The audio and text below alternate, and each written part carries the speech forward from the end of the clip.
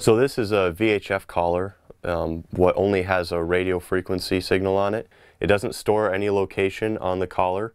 It only allows us to track a radio signal and get closer to the animal. So these are older style collars that we can just track the bear with, but it doesn't tell you any information about where the bear has been or it doesn't store any information on the collar. And this collar is what we use now. This is a GPS collar that has a radio frequency in it.